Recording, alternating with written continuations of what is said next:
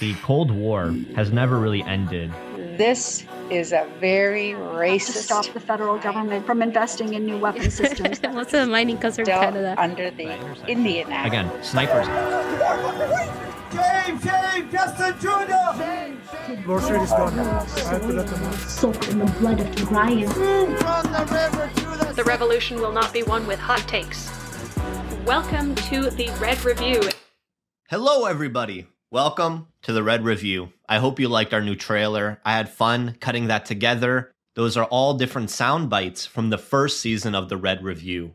If you're interested in those episodes and you haven't listened through everything and it tantalizes you, check out the description. There'll be a link to a Google Doc with all the episodes featured in that trailer linked directly there for your convenience. Check it out.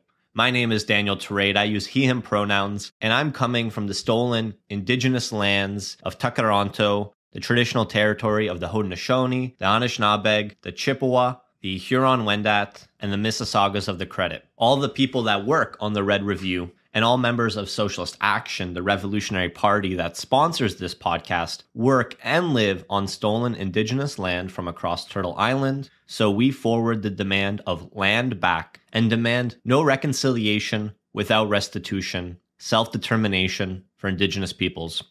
I just want to remind all listeners if you haven't already, join our Discord channel where we organize together to champion every cause of liberation and every struggle against oppression and exploitation.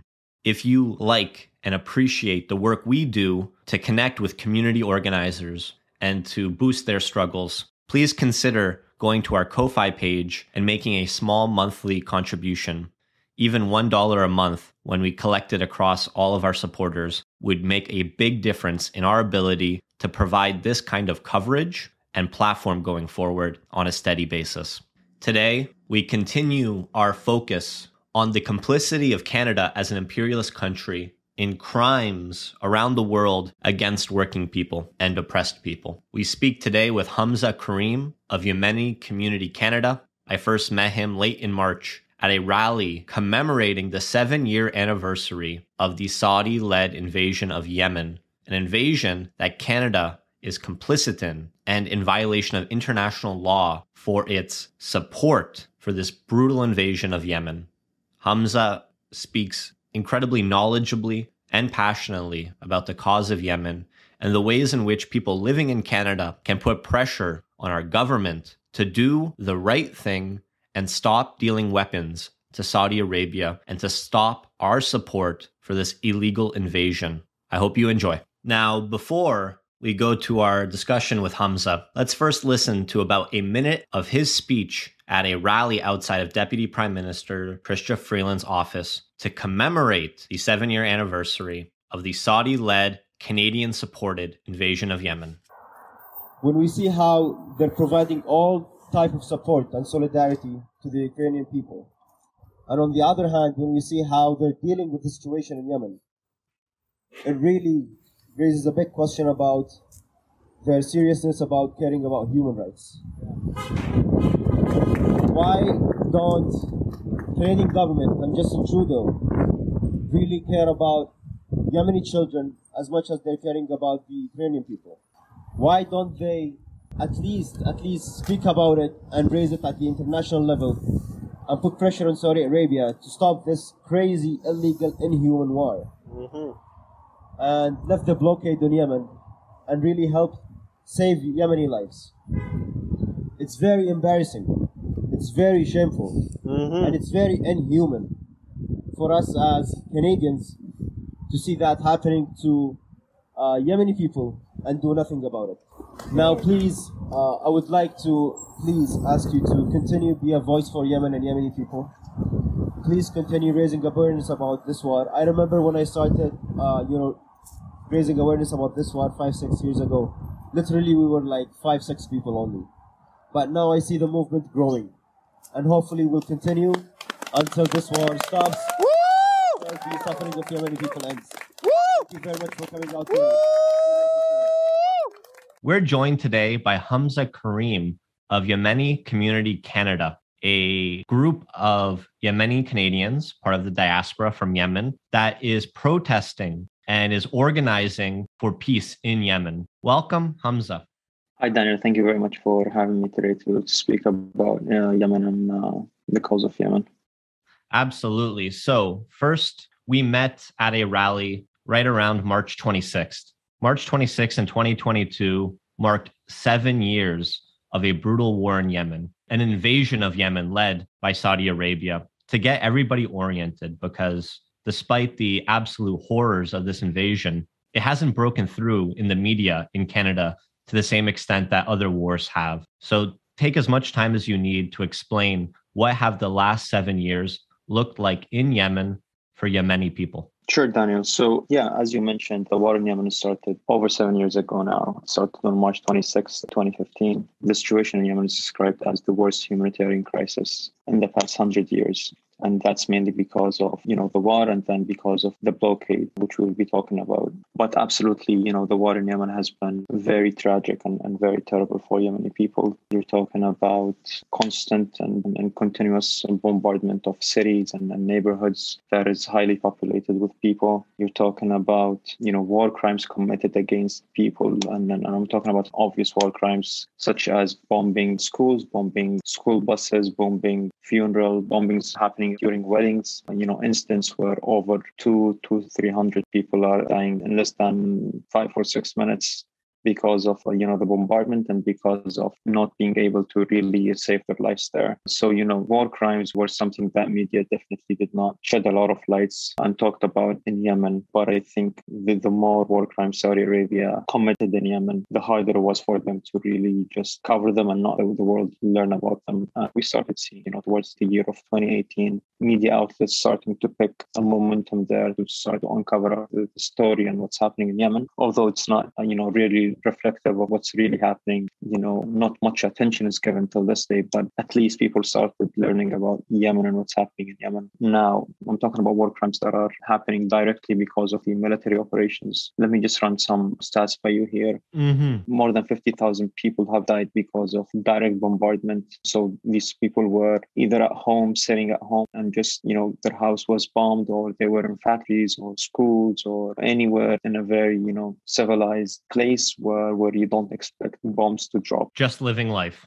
Yeah, just like a normal life, you know, going to school or you know being at a shop or being at home. You wouldn't expect a bomb to come and bomb you when you're uh, mm-hmm. going to school or being in a shop. You know, more than uh, 17 airports have been destroyed in Yemen. Over 1,000 schools and universities and institutes were bombed. Over 10,000 businesses have been literally demolished. Food stores, over 800 food stores were destroyed various roads, bridges, telecommunication towers, electrical stations, and, water pumps like literally, Yemen is, is the poorest country in the Middle East, and after this war, it's not even a country that people can live in. It's it's not livable anymore because of the destroyed infrastructure that you have in Yemen. Now, speaking of the blockade, since 2016, you know the Sana'a airport, which is the main airport in Yemen, where more than six million people travel through that airport every year, and the population of Yemen, by the way, is is almost 35 million. So you're talking about you know almost 20% of the population travel through that airport. So it has been closed with no obvious reason. So can you imagine like when the war started, Saudi Arabia would ask the flights to land in Saudi Arabia to be searched, to be given a permit before they fly into Yemen. Mm-hmm.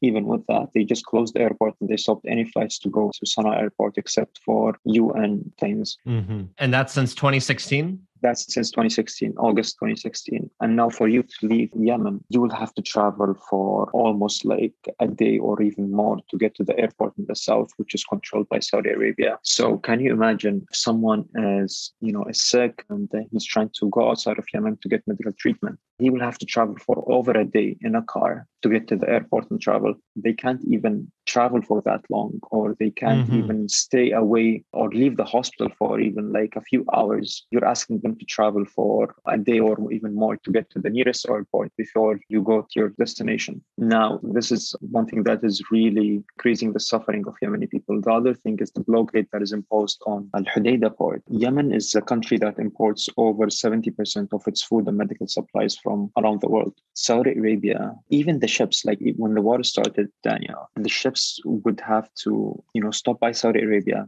get searched in Saudi Arabia, and then get a permit from Saudi Arabia and the UN before it can get to the uh, Al Hodeidah airport. Now the, the port is literally just like shut down and no ships are allowed And Saudi warships and US warships are very close to the Al Hodeidah port, and literally they're not allowing any ships to get into the port. I was talking with my family a few weeks ago, and they were telling me that they have like a huge oil crisis in Yemen right now, where to get five gallons of gas, you will have to pay over 75 Canadian dollars. That's around 60 USD.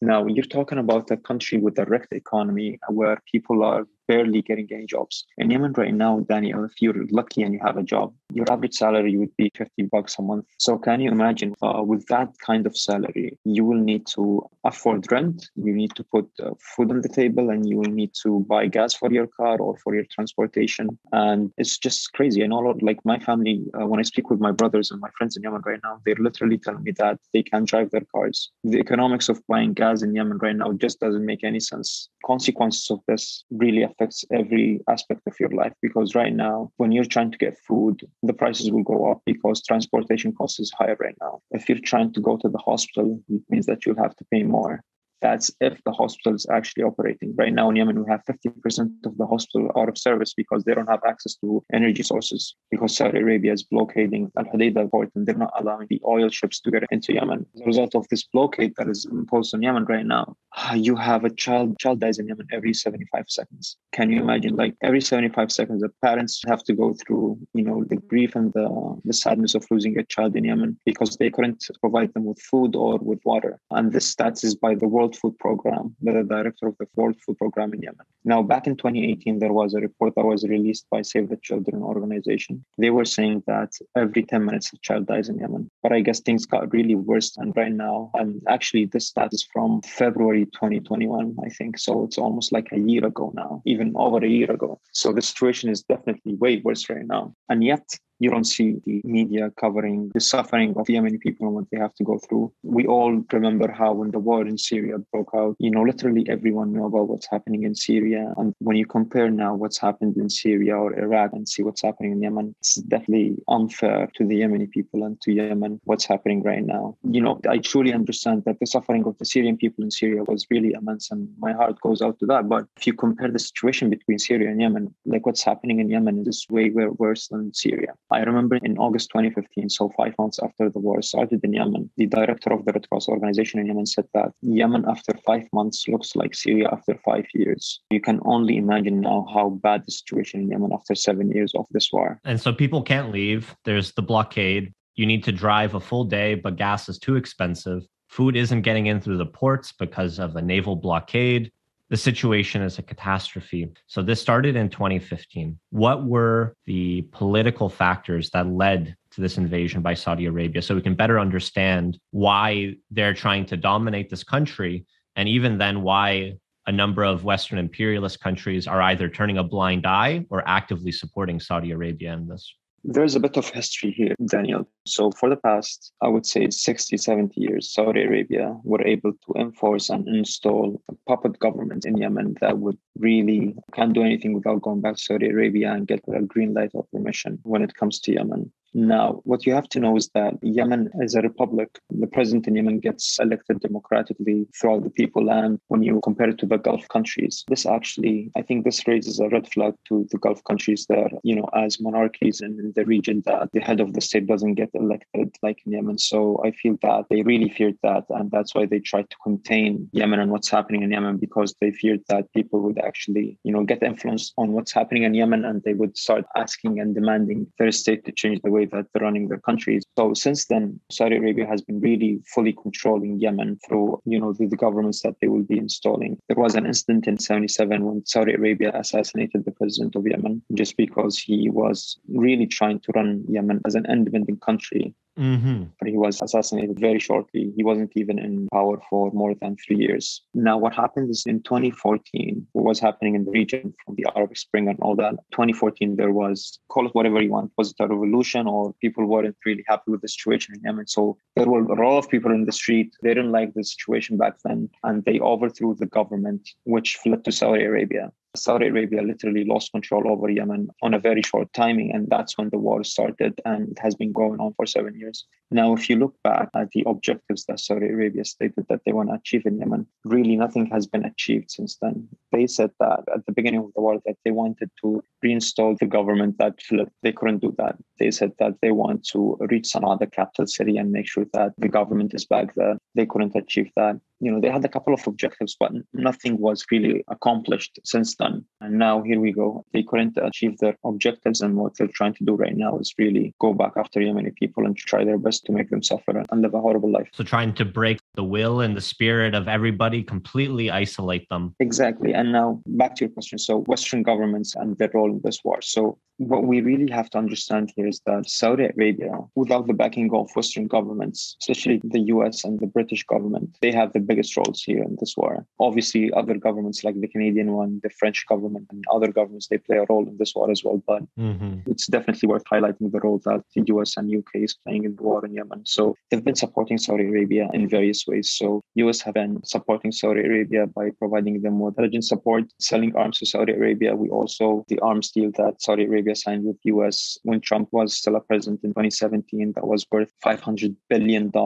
Now, we all know that these weapons will be used in Yemen to kill Yemeni people. And so, what's really interesting, Daniel, to see is that at the international community level, you usually see US, UK standing on one side, and then you have Russia and China standing on the other side. But when it comes to Yemen, the situation is different because these countries are actually now competing to get arms deal contracts for the Saudi Arabia. So really, for them, they don't really care, and their only interest there is to sell arms to Saudi Arabia and to try to get really mega deals with them. And so for them, this war, if it continues, then it's a business for them, and they're making so much money. So why stop this war? They're not losing anything, and their interests are not getting really impacted by this war. Same thing with the role of the Canadian government. Canada has the largest arms deal with Saudi Arabia. It's worth almost $15 billion the Canadian government, their interests are not impacted by this war. You know, for them, they don't see any harm in continuing to sell arms to Saudi Arabia to continue this war, regardless of the fact that really, you know, Yemeni people are suffering, Yemeni people are getting killed by these arms. And it has been proven that these arms, the Canadian arms, have been used in the war in Yemen. And there has been some footage and pictures showing Canadian LAVs and rifles and snipers that have been used in Yemen. Yet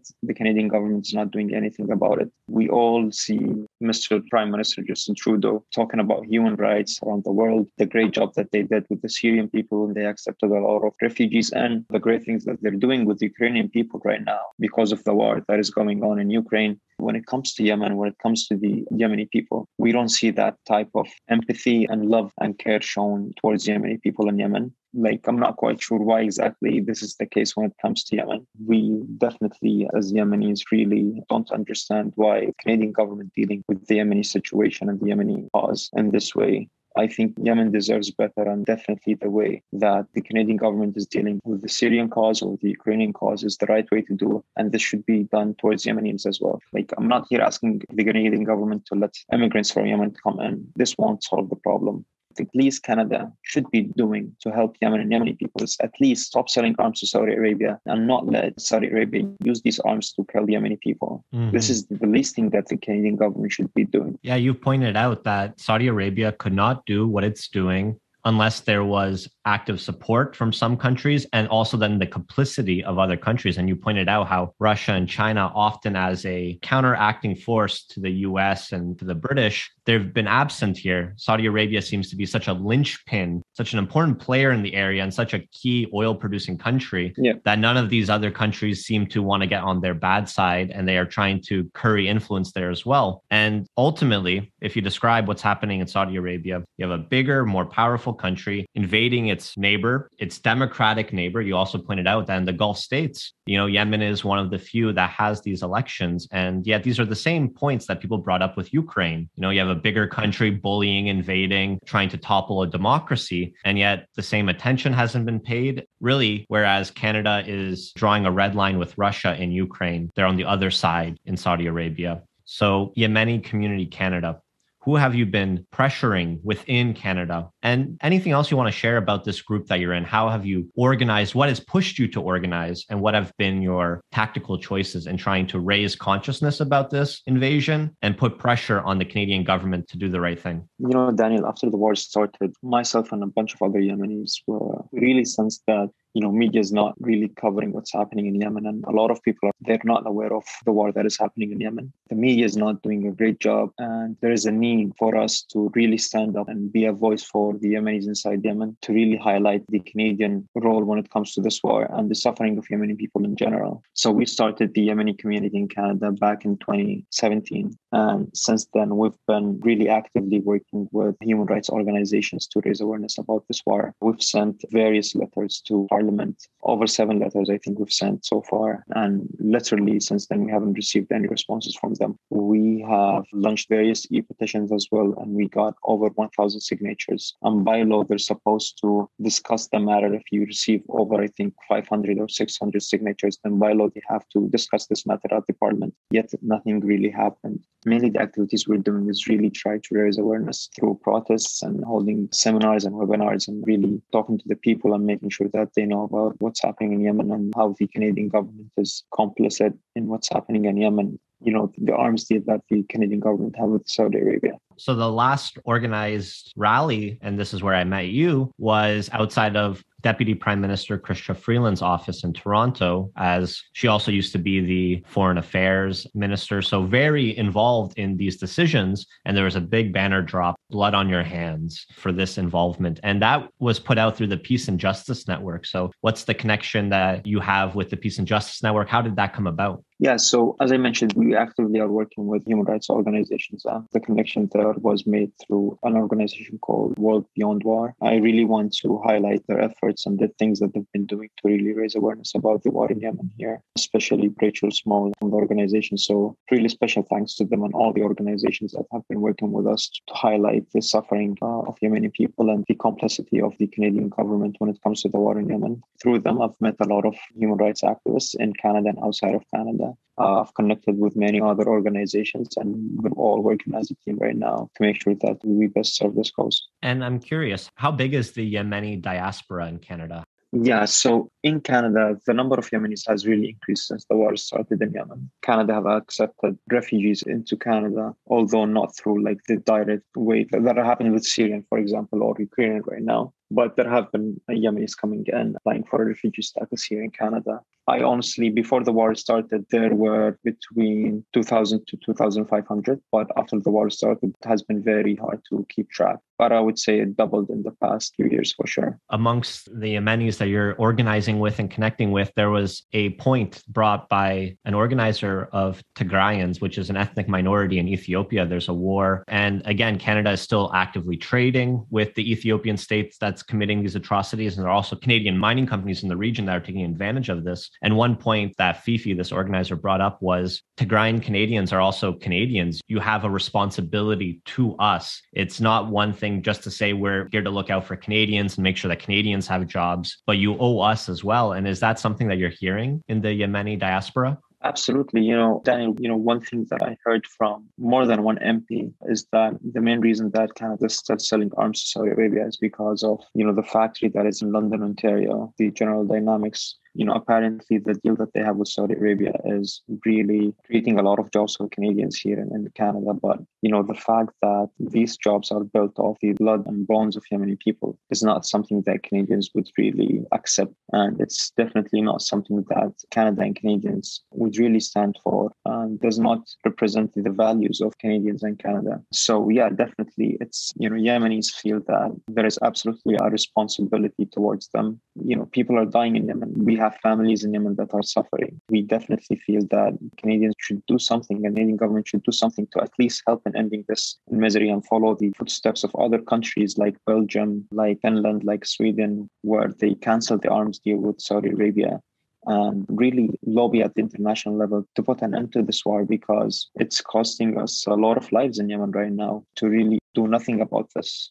for doing nothing about this. It's costing us a lot of lives in Yemen. And so we definitely need to work stronger and feel responsible for stopping this war in Yemen. Internationally, there's a lot of pressure you can put on to achieve something like a ceasefire and to lift the blockade, to let people leave if that's what they want to do. Although you did mention that's not the goal. The goal is not just to evacuate everybody. The goal is that people can live in their homeland. And there's a number of things Canada could do, especially as a big trader with Saudi Arabia. And not only do we sell them a lot of weapons, we buy even more oil from them in return. So there's pressure that we can put there. Let's talk a little bit more about that argument that the jobs in Canada are somehow justification or a good justification for continuing to support the invasion. You said General Dynamics, they have a factory in London, and they're the ones producing the light armored vehicles, the LAVs. This is our biggest weapons deal or contract with Saudi Arabia. It's over $10 billion. It was signed, I believe, in 2014, even just before the war by Stephen Harper, which was one excuse that Justin Trudeau uses is that the contract wasn't signed by us and it's illegal to break the contract. But at the same time, Canada's breaking international law because it's very clear there's a lot of evidence, like you pointed out, that the weapons produced in Canada are being used to commit war crimes in Yemen. There's 3,000 jobs total that are being supported in London. And like you mentioned, Labor Against the Arms Trade, as one of the co organizers of this rally in Toronto where we met, they went to that factory and they asked the workers there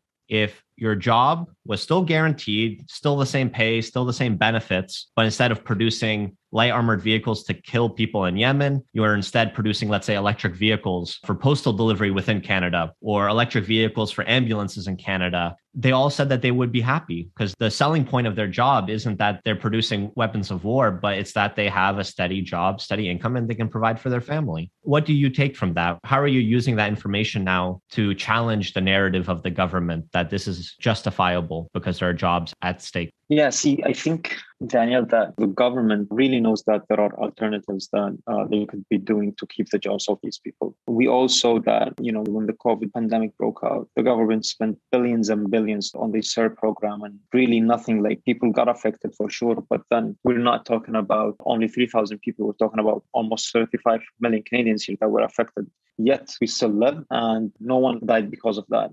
Now, there are alternatives. There are many things that the Canadian government can do to really keep the jobs of these people and make sure that they're not jobless. But I think there is also this angle where the Canadian government really wants to strengthen the relationship with Saudi Arabia because, you know, when you have an arms deal with a country, it's more than just like trading with them the arms. You get maintenance, you get to know exactly how they're operating when it comes to the military and all that. So there are more things that you have access to when you have arms deal with that country. Now, because of that, the Canadian government is really insisting that they don't want to, you know, leave this contract or break it. So really for me, I don't think it's the obvious reason and the, the true one is the jobs that it's creating here. And now, for sure, this is part of it, but there are also other reasons that the Canadian government taken in consideration when it comes to deciding on whether they want to cancel this arms deal or not. But if we're talking about alternatives and other solutions that they can consider, then definitely there are other things that the Canadian government can do to create jobs and keep these people. Yeah, absolutely. For the Canadians that are really starting to explore and digest and understand this invasion for the first time after seven years.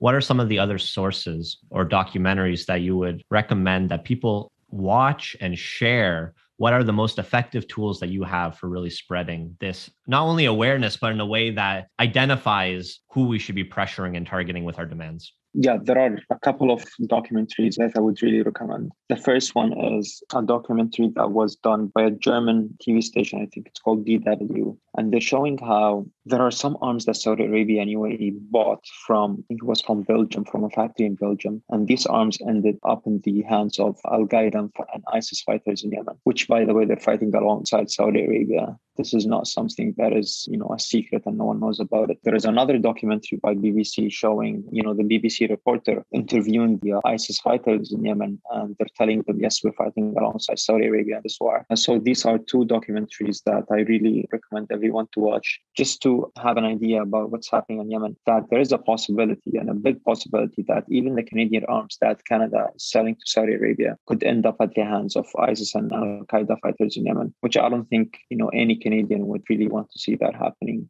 Now, there are also other documentaries by the BBC um, Vice that really reflects the humanitarian crisis that is happening in Yemen and see how really the situation is in Yemen and how dire it is. So these are things that people can look for. And in terms of what Canadians can do, we definitely can do something. Like everyone is powerful and can have an impact here the least thing that we can all do is really share about what's happening in Yemen with your friends and families. Reach out to your MPs and just tell them that, hey, I'm concerned about Canadian role when it comes to the war in Yemen. And what is Canada planning to do about this? Like, we need to stop selling and exporting arms to Saudi Arabia. So, definitely, that's one thing that we can do. World Beyond War, they did a great thing, which is they have like a template that is ready to be used by anyone who wants to reach out to their MPs and a link where you can find who is your MP and the number for General Dynamics so they can reach out to them and tell them that you're concerned about their activities. So I'll share the link also with you. Really just, you know, raising awareness, putting pressure on your MP, making sure the Canadian government is not innocent when it comes to the war in Yemen, making sure that other Canadians know this would definitely put pressure on the Canadian government and could eventually lead to canceling this arms contract with Saudi Arabia. And that then paves the road and allows for not only canceling a contract, but eventually putting are standing to good use and push for a ceasefire, push for lifting of the blockade, and then eventually bringing an end to the war. What's next for Yemeni Community Canada? Are there any upcoming actions? Are there any open petitions, letters that people can support right now? Right now, the Yemeni community, alongside other organizations, decided that they would wait for some time until they hear back from the government before they send another one because it just doesn't make sense to keep sending letters and e-petitions when we don't see any response from the Canadian government. Now, in terms of events and protests, for sure, we do have protests and online events, and uh, every now and then we usually post about them in our uh, Twitter page, which is at Yemeni Canada. If you're interested in really joining us and showing solidarity to Yemen, then please follow us on Twitter and we definitely will keep you posted on all the events that we'll be holding. Thank you so much again, Hamza, for coming on. Thank you very much. Any way that we can support, reach out directly to us. Okay. You can come on anytime if there are updates that you want to provide. If you want to come on just shortly to announce a new campaign, rallies, let this be a connection that we continue to grow. For sure. Thanks again so much to Hamza from Yemeni Community Canada. Thank you for taking the time to share your knowledge and to invite all of us to take up the cause of Yemen. Until next time, comrades, take care, stay safe, and stay active. This has been Daniel with the Red Review. And Daniel with the Red Review. And Daniel with the Red Review.